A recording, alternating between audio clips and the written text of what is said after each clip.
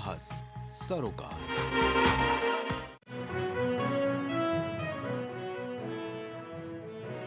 आपको बता दें कि मैनपुरी में इस वक्त इकतीस दशमलव तीन पाँच प्रतिशत मतदान हो चुका है। आपको बता दें, एक बजे तक मैनपुरी में इकतीस दशमलव तीन पाँच प्रतिशत मतदान हो चुका है। आपको बता दें कि मैनपुरी में उपचुनाव हो रहा है, लोकसभा उपचुनाव हो रहा है, जिसमें अभी एक बजे तक इकतीस दशमलव तीन पाँच प्रतिशत मतदान हो चुका है।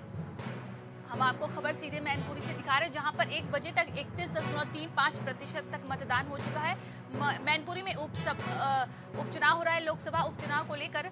एक बजे तक मैनपुरी में इकतीस दशमलव तीन पाँच प्रतिशत तक उपचुनाव में वोटिंग की गई है। आपको हम वोटिंग परसेंटेज दिखा रहे हैं, जिसमें मैनपुरी में अभी तक इकतीस दशमलव तीन पाँच प्रतिशत तक मतदान हो चुका है। मैनपुरी से आपको बता दें कि मैनपुरी में लोकसभा उपचुनाव हो रहा है।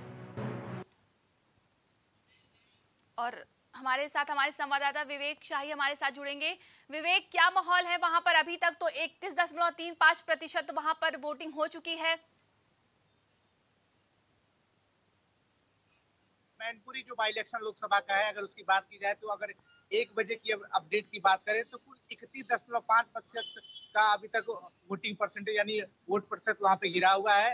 और अब अभी अभी भी शाम छह बजे तक मौका है मतदाताओं के पास कि बूथ पे जाके अपना मतदान करे। अ- अ- अप- अपने प्रत्याशी को, जिस प्रत्याशी को उन्होंने चुना है उसको जो है वहाँ पे जाके अपना मताधिकार का प्रयोग करके मत को डाले। अगर अगर मैनपुरी से इतना अगर खतौली की बात करें तो सबसे ज़्यादा वोट परसेंट खतौली का है जहाँ पे तैतीस परसेंट तक वोटिंग हुई है। वहीं सबसे कम वोटिंग परसेंट रामपुर का है जहाँ करीब बीस प्रतिशत से भी कम यानी उन्नीस दशमलव पाँच प्रतिशत तक का रा, रामपुर में अभी वोटिंग परसेंटेज रहा है नंदनी। जी। विवेक देखा जाए तो लगातार आरोप का आरोप प्रत्यारोप का दौर भी जारी है इसमें। नंदनी, देखिए अभी समाजवादी पार्टी का डेलीगेशन जो है, उनके मुख्य सचेतक मनोज पांडे के नेतृत्व में लखनऊ के निर्वाचन आयोग पहुँचा था। यहाँ पे उत्तर प्रदेश के मुख्य निर्वाचन आयोग से उन्होंने बातचीत भी की, अपना ज्ञापन भी सौंपा, तमाम शिकायतें भी दर्ज कराई।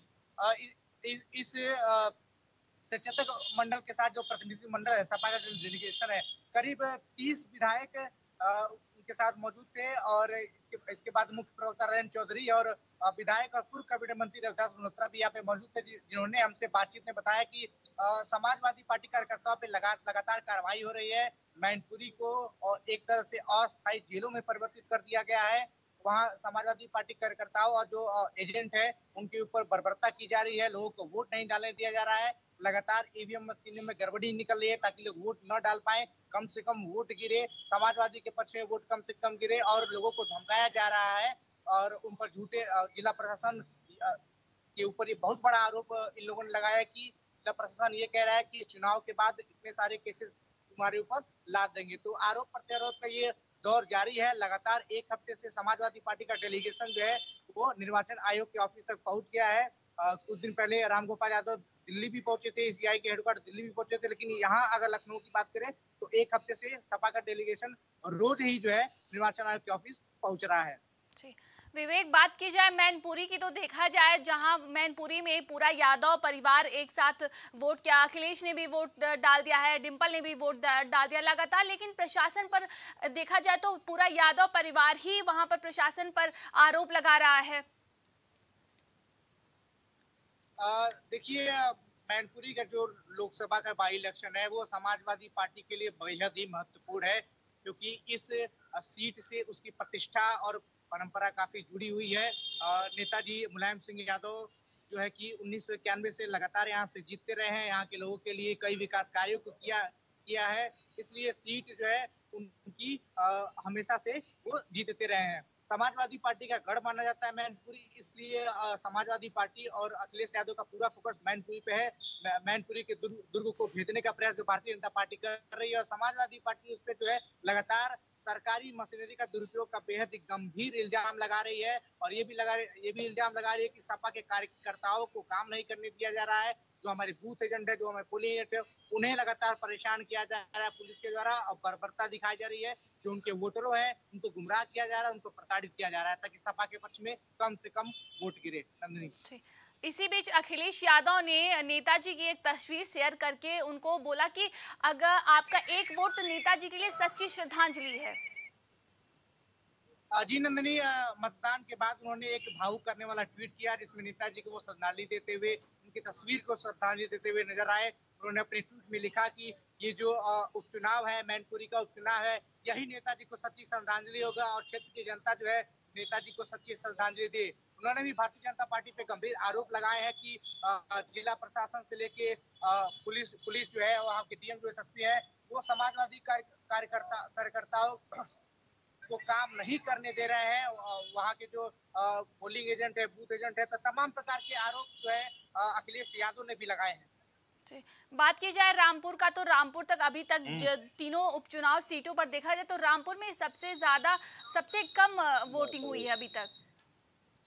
जी नहीं रामपुर का जो वोटिंग परसेंटेज है बाकी के मुकाबले बेहद ही कम है और मैं बताना चाहूँगा कि रामपुर में सपा कार्यकर्ताओं और पुलिस की भी कुछ तो की भी खबरें आई थी जहाँ पे कुछ देर के लिए चुनाव बाधित भी रहा था और रा, रामपुर में कई ईवीएम में गड़बड़ी भी देखने को मिली थी।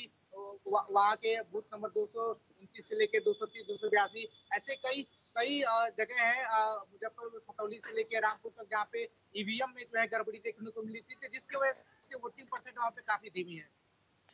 विवेक जिस तरीके से देखा जा रहा है लग, लगातार आरोप प्रत्यारोप लग रहे हैं।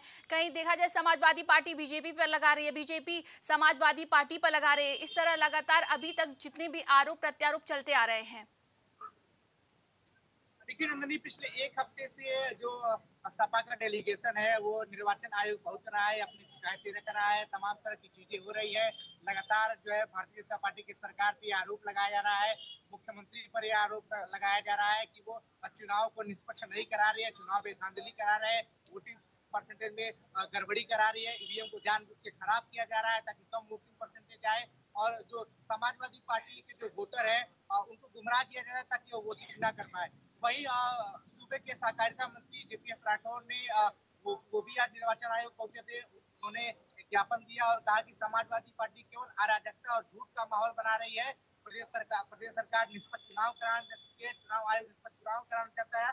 लेकिन समाजवादी पार्टी को अपनी हार दी कर रही है इसलिए वो वो पहले से ही अपने लिए एक सिर्फ़ डिफेंस के लिए कि निष्पक्ष चुनाव नहीं हो रहा है।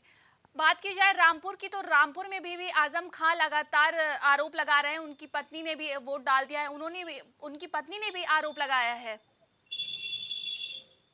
देखिए आज़म खान भारतीय जनता पार्टी की सरकार पर आज से आरोप नहीं लगा रहे हैं। वो काफ़ी अरसे से आरोप लगा रहे हैं। काफ़ी दिनों तक वो जेलों में बंद भी थे। उसके बाद उनकी विधायक, विधायिका भी चली गई। अभी रामपुर का चुनाव, उनकी भी प्रतिष्ठा का चुनाव है, क्योंकि आज़म खान जो है, वहाँ वहाँ से पिछले कई सालों से सांसद विधायक बने हुए थे। वो क्षेत्र की जनता का प्रतिनिधित्व करते थे। जब सरकार में क्षेत्र की जनता को सुनते थे, वहाँ उनके अपने लोग भी हैं। अल्पसंख्यक समुदाय का उनका भारी समर्थन है। और देखा जाए तो इस समुदाय में उनकी पकड़ भी है। तो यहाँ पे वोटिंग परसेंटेज भी काफ़ी कम हुई है क्योंकि कई जगहों पे ईवीएम में गड़बड़ी मिली थी, उसके बाद ईवीएम को ठीक किया गया तो काफ़ी समय भी जाया होगा, जिसकी वजह से वहाँ से वोटिंग परसेंटेज कम है। और आरोप प्रत्यारोप का दौर तो इस समय लगेगा ही क्योंकि चुनाव है, इस समय आरोप प्रत्यारोप, जुबानी जंग, ये सारी चीज़ें होती रहती है। विवेक, जिस तरीके से वोटिंग परसेंटेज का रुझान देखकर लगता है कि उपचुनाव में जहाँ वहाँ की जनता का समर्थन ज़्यादा मिल रहा है, तीनों उपचुनाव में जिस तरीके से देखा जाए तो अभी। देखिए, अगर वोटिंग परसेंटेज की बात करें तो बहुत बहुत ज़्यादा वोटिंग नहीं हुई है। अगर तीनों की बात करें तो एक बजे तक केवल तैतीस परसेंट वोटिंग खटौली हुई थी। रामपुर में रामपुर में उन्नीस दशमलव परसेंट की वोटिंग हुई थी और मैनपुरी पाँच परसेंट की वोटिंग हुई थी। तो मैनपुरी या खतौली तो फिर भी ठीक है, लेकिन रामपुर का जो वोटिंग परसेंटेज वो काफ़ी नीचे है, काफ़ी कम है, क्योंकि वहाँ पे कई जगहों पे ईवीएम में गड़बड़ियाँ मिली थी, इसलिए थोड़ी देर, दूर के लिए कई बूथों पर मतदान भी रुका था जिस वजह से ये वोटिंग परसेंटेज काफ़ी कम दिखाया जा रहा है। तमाम जानकारी के लिए बहुत बहुत धन्यवाद आपका, विवेक।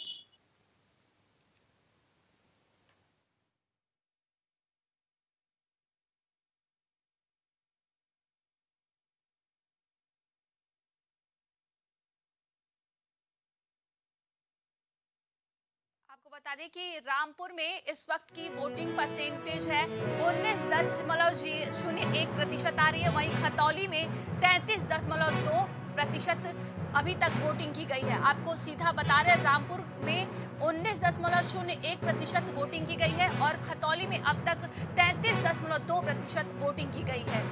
बता दें कि इन तीनों सीटों पर उपचुनाव हो रहा है। रामपुर में आज़म खां की विधायकी रद्द होने के बाद ये उपचुनाव करवाया जा रहा है। वहीं खतौली में भी विधायकी रद्द होने के बाद भी ये उपचुनाव करवाया जा रहा है। बता दें कि आज वोटिंग शाम के छह बजे तक होगी। वहीं अभी तक रामपुर में उन्नीस दशमलव शून्य एक प्रतिशत तक वोटिंग की गई है। खतौली की बात करें तो खतौली विधानसभा सीट पे अभी तैतीस दशमलव दो प्रतिशत वोटिंग की गई है।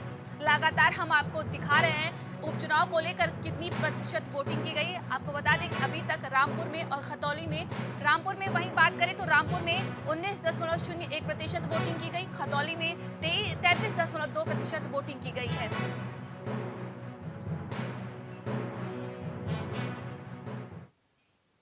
रुकते हैं एक छोटे से ब्रेक के लिए, बने रहिए हमारे साथ, देखते रहिए प्राइम टीवी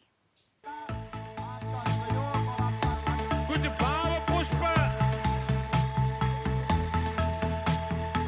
आप देख रहे हैं प्राइम टीवी सच साहस सरोकार।